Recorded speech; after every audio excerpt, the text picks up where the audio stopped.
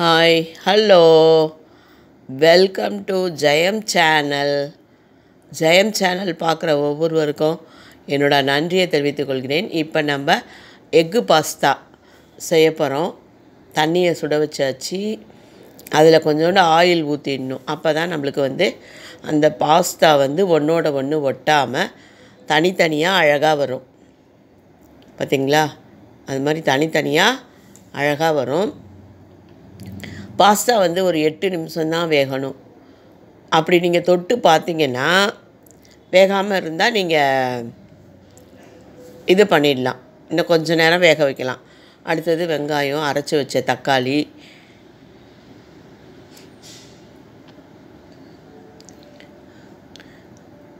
வெங்காயம் அதுங்காட்டி அரைச்சி வச்சு தக்காளியை ரெடி பண்ணிவிட்டு பாஸ்தா வெந்துருச்சா அப்படின்னு சொல்லிட்டு அந்த பார்க்கணும். இது மைதா கோதுமை கூட நீங்கள் வாங்கிக்கலாம். ஒரு கொஞ்சம் காசு அதிகமாக இருந்தாலும் கோதுமை பாஸ்தா நல்லாயிருக்கும். அது வந்து எப்படின்னா மைதா மாதிரி மைதா விட கோதுமை நல்லாயிருக்கும் ஆனால் கொஞ்சம் விலை அதிகம். இப்போ பாருங்கள் தனித்தனியாக ஆயிடுச்சு. வெந்துடுச்சு. அதனால் நான் என்ன பண்ணிட்டேன் தட்டில் கொட்டி வச்சிட்டேன் தனித்தனியாக இருக்கும். தட்டில் நம்ம கொட்டி வச்சிடணும் அப்போ தான் தனித்தனியாக இருக்கும். அடுத்தது பாருங்கள் வெங்காயம் மூணு முட்டை எடுத்துக்கிட்டேன். இது எக்கு பாஸ்தாங்கிறதால காய்கறி போடலை. மூணு முட்டை சின்னதாக இருந்தால் நாலு போட்டுக்கலாம் நீங்கள் அதுக்கப்புறம் துருவி வச்ச இஞ்சி அப்புறம் நறுக்கி வச்ச பூண்டு. அந்த வே- கேரட்டு பீட்ரூட்லாம் சீவோம் இல்லைங்களா? இதோ பாருங்கள் இது. இதில் வந்து நம்ம வந்து இஞ்சியை நல்லா தோல் உரிச்சிட்டு மண் இல்லாமல் சுத்தமாக கழுவிட்டு இதில் வந்து நம்ம தேய்ச்சிட்டு எடுத்தோம்னா அப்படியே துருவி துருவி எடுத்துக்கலாம் நம்ம இஞ்சி. இஞ்சி பூண்டு போட்டோம்னா நம்மளுக்கு செரிமானம் நல்லா இருக்கும். அதே மாதிரி ஃப்ளேவர் நல்லா வாசமாக இருக்கும் இஞ்சி பூண்டு போட்டோன்னா அதுக்கப்புறம் நம்ம இப்போ சட்டியை வச்சாச்சு. சட்டியை வச்சு எண்ணெயை ஊற்றியாச்சு எண்ணெயை ஊற்றிட்டு இப்போ நம்ம வெங்காயத்தை போட்டு கண்ணாடி போல் வறுக்கணும். கொஞ்சம் லைட்டாக உப்பு போட்டுக்க உப்பு போட்டுக்கணும். தேவையான அளவு உப்பு போட்டுக்கணும். நான் பாஸ்தா வேகும் போதே கொஞ்சம் உப்பு போட்டேன். இப்போ இந்த வெங்காயத்துலேயே கொஞ்சம் உப்பு போட்டு நம்ம நல்லா கண்ணாடி போல் வறுக்கணும். இது வதங்கிட்டு இருக்கும் போதே நம்ம நறுக்கி நறுக்கி வச்ச பூண்டு துருவி வச்ச இஞ்சி இது ரெண்டையும் போட்டு நம்ம வெங்காயத்தோட உப்பு கொஞ்சோண்டு போட்டு நம்ம அதை நம்ம நம்ம ஃப்ரை பண்ணும்போது ரொம்ப மணமாக இருக்கும். நீங்கள் வந்து வெங்காயம் வணங்கும் போது உப்பு போட்டிங்கன்னா உங்களுக்கு சீக்கிரமாக வணங்கும் வெங்காயம். இல்லைனா இப்போ ரொம்ப ஹார்டாக இருக்குது வெங்காயம் இப்போ வர வெங்காயம்லாம். தக்காளி கூட ரொம்ப ஹார்டாக இருக்குது. லைட்டாக நீங்கள் உப்பு போட்டுட்டிங்கன்னா சீக்கிரமாக வணங்கும். நமக்கு வேலை கொஞ்சம் சீக்கிரமாக முடியும். பாருங்கள் கண்ணாடி போல் வணங்கிடுச்சிங்களா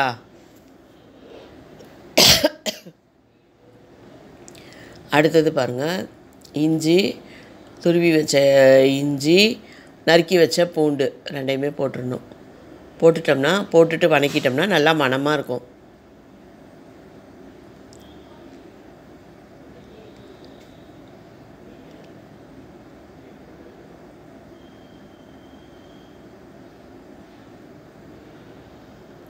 அடுத்தது நம்ம வந்து அரைச்சி வச்ச தக்காளி இருக்குது இல்லைங்களா அதை ஊற்றணும் நல்லா வணங்கிட்டு வணங்கிடுச்சுன்னா அடுத்தது அரைச்சி வச்ச தக்காளியை ஊற்றி நம்ம எண்ணெய் தனியாக பிரியணும். அதாவது வெங்காயம் தக்காளி இஞ்சி பூண்டு இதோ பாருங்கள் கொஞ்சம் மிளகுத்தூள் போடணும். கொஞ்சம் வந்து அந்த மசாலா தூள் இருக்குது. அதாவது பாஸ்தா மசாலானே விற்கும். அது வாங்கி நம்ம போட்டுக்கலாம். இப்போ பாருங்கள் அரைச்சி வச்ச தக்காளி. கொஞ்சம் வந்து சிக்கன் பவுடர் போட்டுக்கலாம். வீட்டில் செஞ்சதாலும் இருந்தாலும் பரவாயில்ல. வெளியே செ வாங்கினதாலும் இருந்தாலும் பரவாயில்ல. டேஸ்ட்டாக இருக்கும். நம்ம அது போட்டுக்கணும். தக்காளி வெங்காயம் இஞ்சி பூண்டு மிளகுத்தூள் கொஞ்சம் மிளகுத்தூள். அதுக்கப்புறமா நம்ம இப்போ நல்லா இது வணங்கினதுக்கப்புறம் ரவுண்டாக இதை என்ன பண்ணிடணும்? ரவுண்ட் பண்ணி ஓரத்தில் வச்சிடணும். நல்லா பச்சை வாசம் போக வணங்கணும். வணங்கிருச்சுன்னா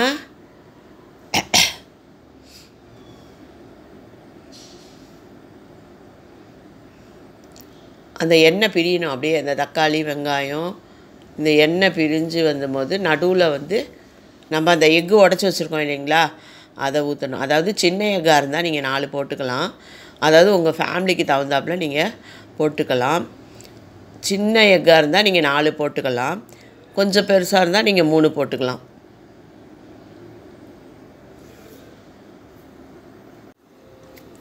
அந்த எக்கை போட்டு எக்கு வந்து பிரி பிரியாக வரும் பார்த்தீங்களா அப்படி விட்டுறக்கூடாது.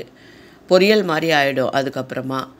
கொஞ்சம் கொழகொழப்பு தன்மை இருக்கும் போதே அந்த வெங்காயம் தக்காளி எக்கு எல்லாத்தையும் நம்ம வந்து அப்படியே மேஷ் பண்ணணும் நல்லா.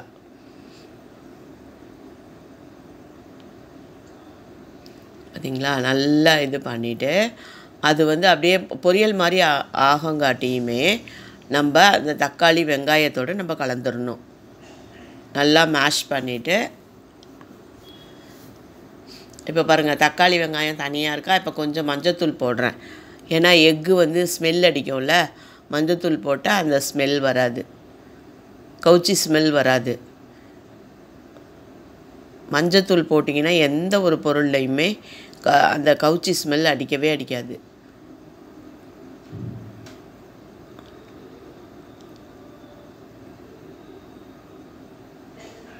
நல்லா தக்காளி வெங்காயம் முட்டை மிளகுத்தூள் அதுக்கப்புறமா சிக்கன் மசாலா கொஞ்சம் போட்டேன்.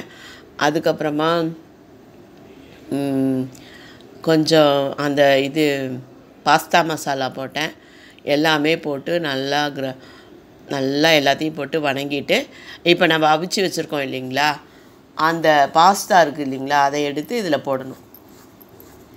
அதில் போட்டு எல்லாமே ரெண்டரை அப்படியே எல்லாமே கலக்கணும். கலந்துட்டோம்னா சுவையான பாஸ்தா ரெடி இதில் நீங்கள் சாப்பிடும் போது சாஸு பாஸ்தாக்குனே ஒரு சாஸ் இருக்கும். அந்த சாஸ் கூட நீங்கள் ஊற்றி சாப்பிட்லாம். இதை வந்து நல்லா கலந்துடும் இந்த மசாலாவோட. கலந்துட்டிங்கன்னா உங்களுக்கு அருமையான பாஸ்தா கிடைக்கும். அதுக்கப்புறம் அந்த சாஸ் இருக்குது இல்லைங்களா? அதை நீங்கள் பாஸ்தா சாஸ்னே விற்கும். அந்த சாஸ் கூட நீங்கள் ஊற்றி டேஸ்ட்டுக்கு சாப்பிட்லாம். Tomato sauce. நல்லாயிருக்கும். அது நீங்கள் சாப்பிட்டிங்கன்னா சூப்பராக இருக்கும். பாருங்கள் பாஸ்தா ரெடி அருமையான பாஸ்தா ரெடி இப்போ நீங்கள் லெமன் கூட இதில் லைட்டாக லைட்டாக பிழியணும். லைட்டாக பிழிஞ்சு விட்டு சாப்பிட்லாம். இப்போ வந்து டெக்கரேட் பண்ணியாச்சு. நம்ம இப்போ வந்து இதில் லெமன் பிழிஞ்சு லைட்டாக லெமன் நான் ஒரு லெமன் அரிஞ்சு வச்சுருக்கேன். ஆனால் அவ்வளோலாம் இல்லை. உங்களுக்கு எப்படி வாய்க்கு புளிப்புத்தன்மை தேவையோ அது மாதிரி நீங்கள் அந்த லெமனை பிழிஞ்சு விட்டுட்டு நீங்கள் சாப்பிடலாம். இந்த பக்கம் ஒயிட்டாக இருக்குது பார்த்தீங்களா? அது வந்து பட்டர் அந்த பட்டர் வந்து நம்ம ஃப்ரிட்ஜில் வச்சுருக்கும் போது நல்லா கல் பிஸ்கெட் மாதிரி இருக்கும். கொல கொலன்னு இருக்கும். ஆனால் அதை வந்து நம்ம துருவி போட்டுக்கலாம் வேணால்